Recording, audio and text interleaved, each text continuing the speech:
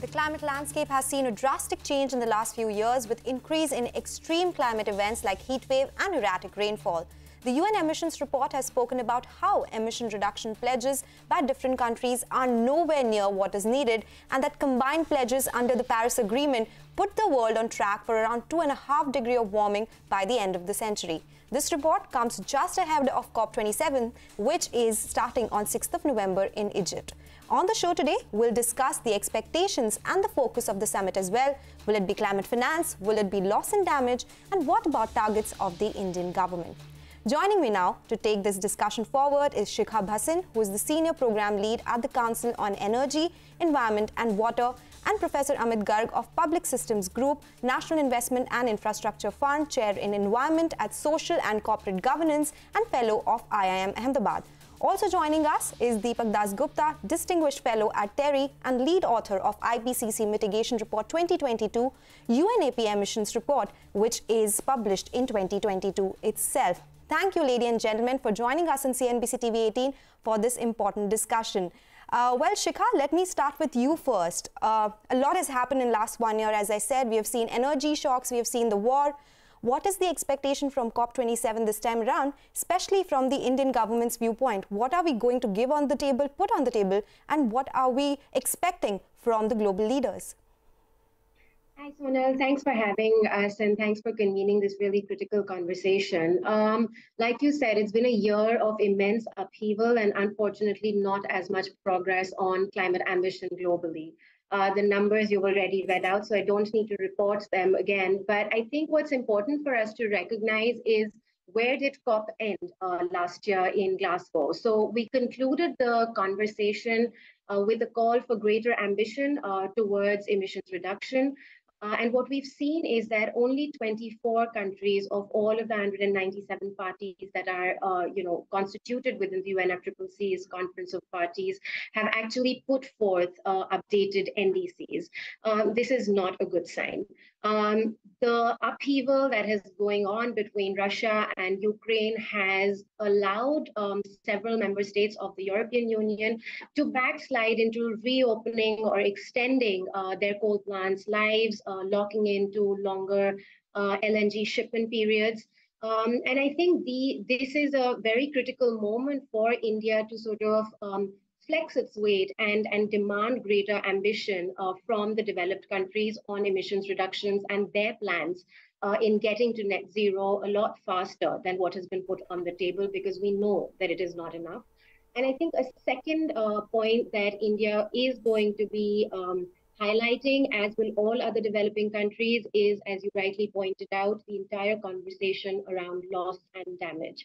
Now, this is critical for India, not just globally on behalf of the developing world, but also uh, because of its domestic situation, where 75% of our districts um, lie are, or are recognized as extreme climate um, event spaces, which means that a large majority of our population is actually extremely vulnerable uh, to the impacts of climate change. And in order to address that, there needs to be progress within the negotiations where countries are coming together and developing a systematic loss and damage facility uh, to finance um, the vulnerabilities and, and the shocks that are being caused uh, both domestically and globally. Okay, take your point. And climate finance, loss and damage continues to be the big talking point. Uh, I'll discuss that in greater detail as well. But Mr. Dasgupta, let me come across to you. Uh, you have authored the recent emissions gap report as well. It mentions, and I quote, global coal emissions exceeded 2019 levels mainly due to increased usage in China and India. And these were the two countries, one of the two countries that actually went ahead in last COP and they changed uh, the phase, uh, the phrase from coal phase out to coal phase down. Uh, that was a big talking point as well. We've seen a lot change since then. European countries again are talking about dependence on coal. Do you think there could be some change in this particular uh, uh, this particular phrase as well? And is it possible for a developing country like India to phase out coal faster than what is expected? Yeah, thanks. Uh, coal is not the issue. the issue is uh, coal is a minor play. The issue is how are we going to mobilize the climate uh, finances that India, many others need. We we got to do some dramatic things. Whether it happens at COP27 uh, is going to be the challenge. We we we we think there are six main approaches. Climate finance has to rise by about five to seven times the current levels if we are going to make a dent on uh, the emissions uh, gap that we're seeing, and and and and therefore uh, the coal is a side distraction. I think the bigger question is as India tries to reach its uh, uh, very ambitious targets on renewables, whether there is enough momentum happening in Article 2.1c discussions at COP27, whether we have the bandwidth or the finance uh, to react. And our take in, in the UN UNEP emissions gap report and elsewhere is there's plenty of financing in the world. Uh, you know, the size of the global financial sector is so big, and relative to the share uh, and, and, and the size of financing that we need for climate, it's a matter of uh, using the tools that we have at hand to prompt the finance financial system to lead the way. And therefore india is a critical player in that discussion. And we have we i'd be happy to talk about the six approaches that we have in mind of course, I'll, I'll take that up uh, in the next question, Mr. Dasgupta. But Mr. Garg, let me come across to you. Climate finance, as both uh, Ms. Bhasin and Mr. Dasgupta said, will be the big talking point. COP26 promised to meet target of $100 billion of climate finance by 2023. First of all, is that enough? Uh, as Mr. Dasgupta said, a 5%, 5 to 7% increase is needed. And secondly, in G20, India spoke about need to restructure IMF and World Bank to address the climate finance issues. What is your take on this and what should India be talking about in this COP? Yeah, so climate finance requirement is huge, I would say. So India itself may need about $10 trillion for managing our climate change impacts so and, mitigation. So that is one thing. I think what we are looking at 100 billion is good but we are not planning to leverage it well. That is what my worry is. We are not creating low cost financing solutions which are possible to be done. This are known to the world. You see if a project green project is to be funded in a developed country they receive funding at 2 to 3%. But if the same type of project is to, be, is to be funded in a developing country, they receive 8 to 12% of finance, uh, uh, uh, uh, cost of finance. So, where is the equity? Where is the justice in this? You see, the countries that need most of the finance or more of the finance on mitigation adaptation, they have been rated very low, triple B, double B, so finance will not come to them. So I think the whole financial structure, we have to think about it and we have to see that how can we get financing from de developed countries to let us say multilateral development banks at a low cost. That is very much important. And on energy, coal and other things, my take is any energy is better than no energy. Hmm. So if Europe is fixing going back to coal because they need energy. Hmm. And if we are working on coal, it is because it is our natural resource what we have. I do not know of any big country or any country for that matter who is not using their natural resources, natural endowments. So if some country is using shale gas, they have a lot of shale gas.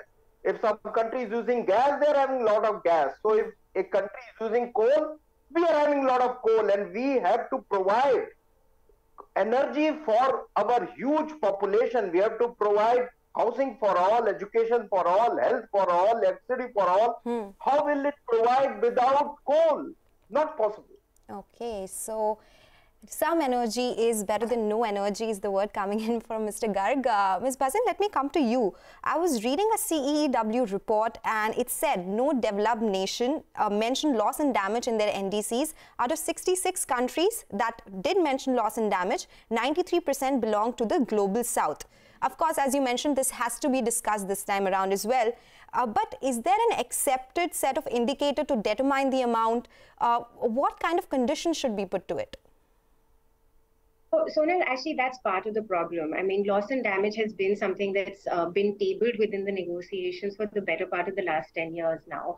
Uh, and the reason that progress when it comes to indicators and institutional support as well as um, you know attributable science to particular climatic events all of this actually needs encouragement. And by slowing the conversation within the negotiations around loss and damage, uh, the world has systematically slowed progress on each of these um, aspects of creating indicators, um, you know, creating the finance, uh, knowing how much is really needed, as well as the progress on science that will be able to attribute every climatic, uh, every natural disaster to uh, climate change in the capacity that it is actually connected. Um, um, and so it's actually been a very clever ploy to just slow it down uh, by keeping it on the negotiation table rather than moving forward on it. Um, but as the study that you have just alluded to highlights, um, the other part of the problem here is that because it is only a developing country problem that is being uh, put forth by the global south, um, it's also um, recognizing that the capacity constraints to be able to arrive at those data points, to be able to arrive at that science, to be able to arrive and say that, look, this is the amount of money that we need, this is how much it is costing us.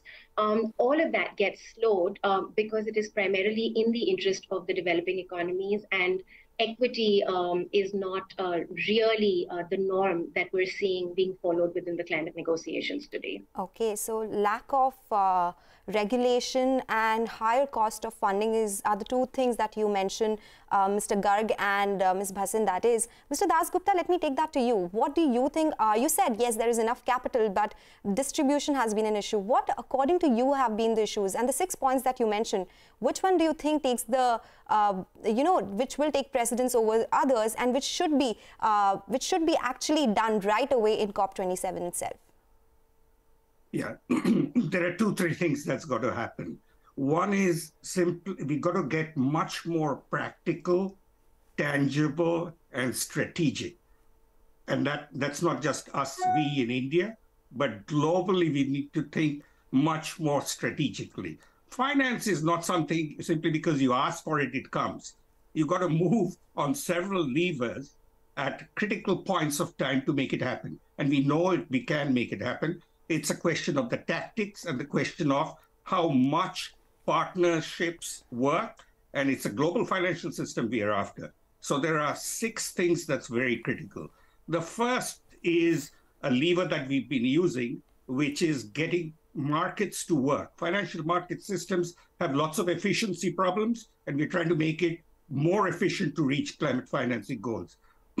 and this is about all that has to do with taking climate risk into account.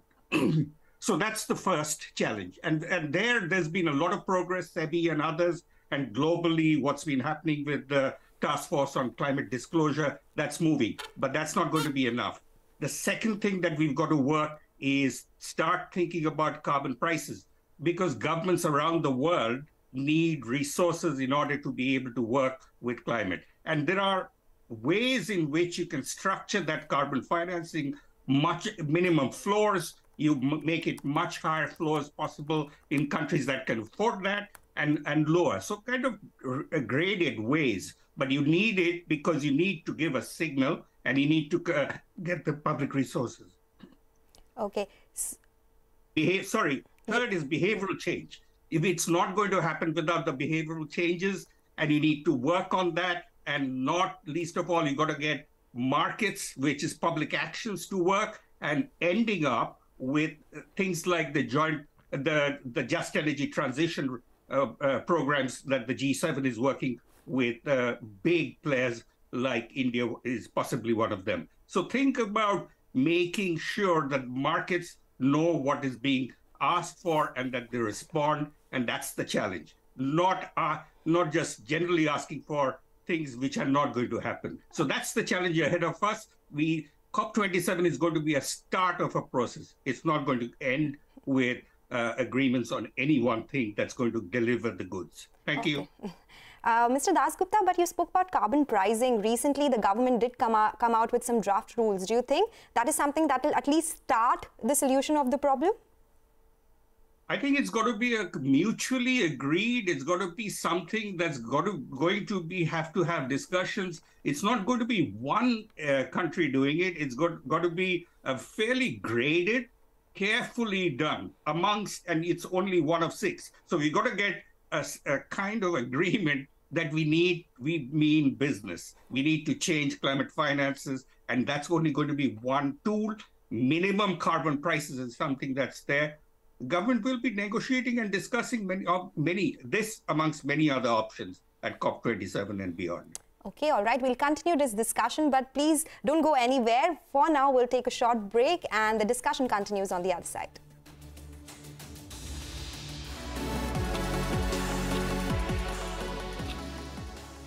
Welcome back. You're tuned into Climate Clock on CNBC TV 18, and this is our special COP27 discussion that continues. Uh, we have with us Mr. Garg, Mr. Dasgupta, and Ms. Bhasin. Oh, well, this next question is to you, Mr. Garg.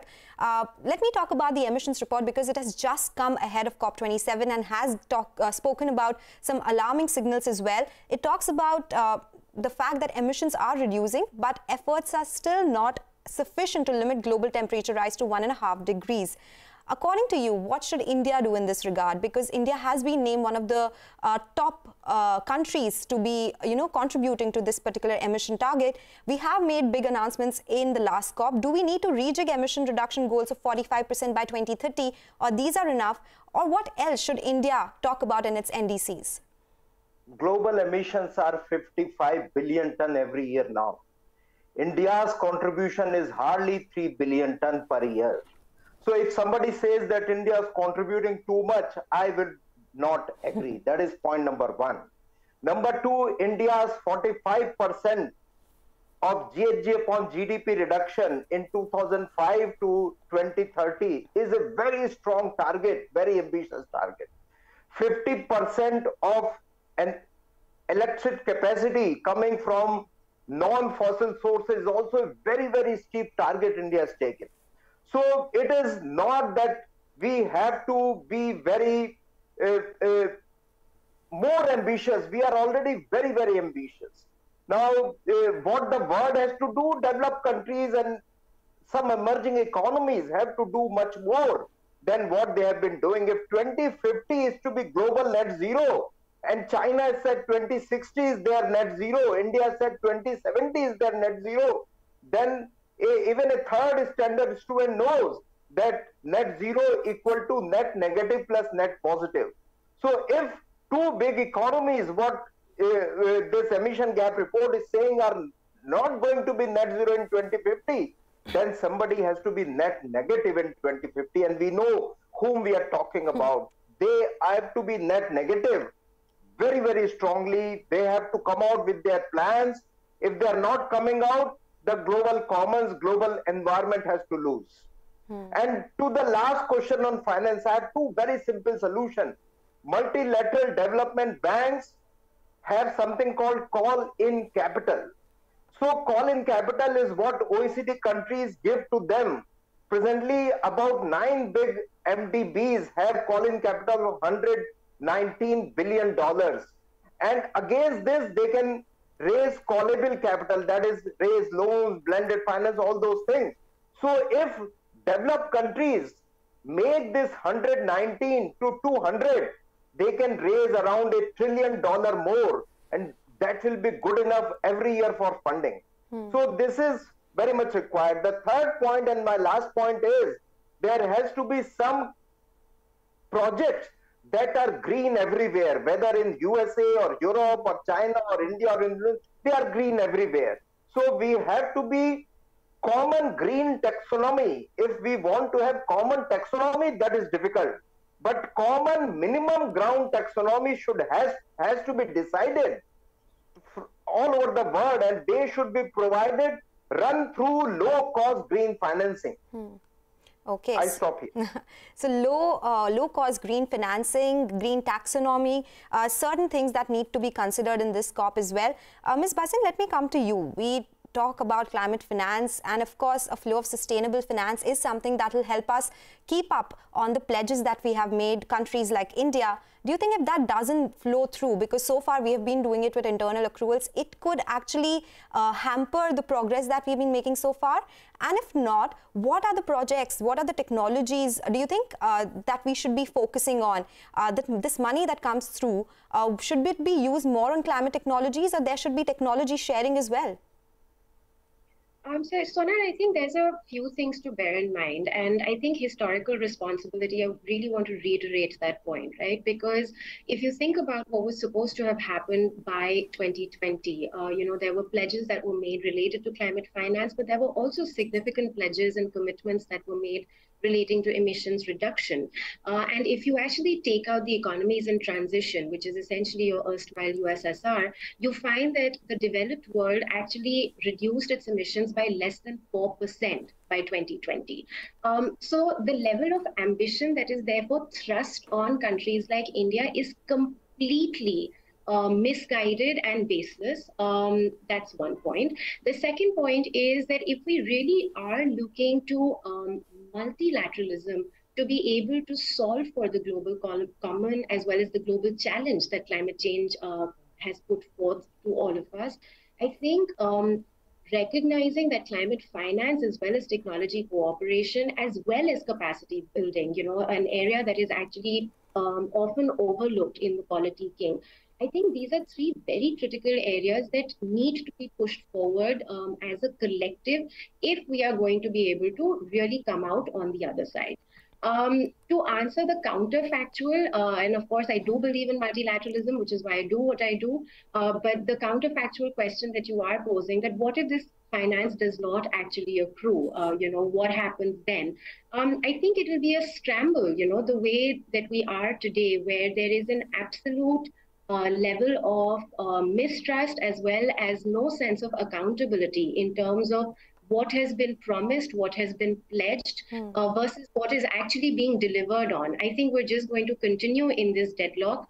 Um, and you'll see an increasing number of partnerships arising on the outside of what is considered COP today uh, to be able to try and solve for it. You know, you'll see greater technology partnerships as well as financing partnerships taking place amongst bilateral and multilateral countries. Uh, but we lose the essence of mm really coming together within the purview of the UNFCCC uh, to solve for this global okay. challenge. Take your point, Ms. Bhasin. Uh, short of time, so Mr. Dasgupta, last question to you. Uh, your uh, response to what I just asked Ms. Bhasin and your closing comments as well. Yeah, we, we're trying to work towards a solution that is feasible. We think a solution is feasible. And I agree that what happens at COP is that you get very intense discussions which go to the edges and not solutions. And therefore, India in a G20 upcoming leadership, India as the biggest player in some senses amongst the developing countries, the challenges that they're going to be facing. India has the deep financial uh, capabilities to be able to be a bridge between the divides that uh, are affecting us. And I'm hopeful that we will see many more things happening, not perhaps at the kind of headline levels of the divisions that are always talked about, but working towards collaborative, cooperative outcomes. And it, by all means, it can take many shapes and forms. One of the things that's going to be important to discuss is the G7 uh, uh, Just Transition Energy Partnership it's going to be important, but it's we've got to think of the multilateral solutions. We've got to think of the adaptation solutions. We've got to be doubling the adaptation size of financial resources. But all this happening at a time when we are in an energy sector crisis globally right now, and central banks are raising, even as we're talking today or tomorrow, we're going to see some actions again from the Fed on the central banks. So these are conditions which are going to be difficult, but within this, I remain optimistic that uh, we will find the right solutions uh, okay. uh, if we put our minds to it. Thanks. Okay, that is everyone's hopes, uh, hope as well. Thank you, Mr. Dasgupta, Mr. Garg, and Ms. Bhasin to join us and discuss this uh, important topic. Uh, thanks a lot for joining us. And with that, it is a wrap on this edition of Climate Clock. News continues on CNBC TV 18. Stay tuned.